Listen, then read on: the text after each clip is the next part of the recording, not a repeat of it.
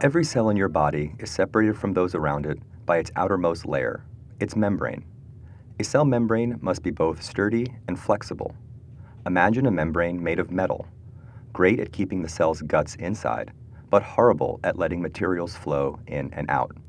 But a membrane made of fishnet stocking would go too far in the opposite direction, leaky but easily torn. So the ideal membrane falls somewhere in the middle. Over the past few centuries, we've learned a lot about the way membranes work. The tale starts in the late 1800s, when, according to legend, a German woman named Agnes Pockels was doing dishes. Her observation that not all detergents dissolve grease in the same way piqued her curiosity, so she made careful measurements of the size of soapy films that formed on the surface of a metal tray filled with water. Later, in the 1920s, GE scientists Irving Langmuir and Katherine Blodgett re examined the problem with a more elaborate contraption and found that those tiny slicks were in fact a single layer of oil molecules. Each oil molecule has one side that loves water and floats on the surface, and one side that loathes water and protrudes into the air. So, what does it have to do with cell membranes?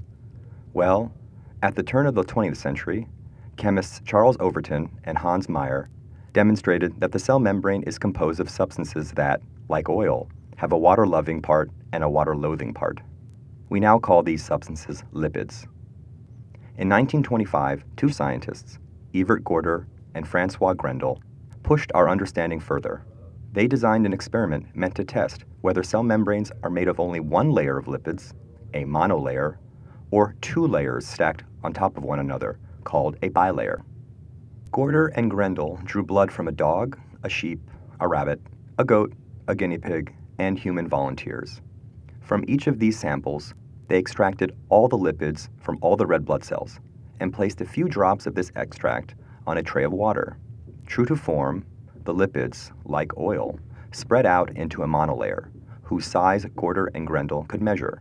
If they compared the surface area of that monolayer to the surface area of the intact red blood cells, they'd be able to tell whether the red blood cell membrane is one or two layers thick. To understand the design of their experiment, imagine looking down at a sandwich. If you measure the surface area of what you see, you'll get the dimensions of a single slice of bread, even though there are two slices, one stacked perfectly atop the other. But if you open the sandwich and place the two slices side by side, you get twice the surface area. The Gorter and Grendel experiment is basically the same idea. The open sandwich is the monolayer formed by the extracted cellular lipids spreading out into a sheet. The closed sandwich is the intact red blood cell membrane. Lo and behold, they observed a 2 to 1 ratio, proving beyond a shadow of a doubt that a cell membrane is a bilayer, which, when unstacked, yields a monolayer twice its size.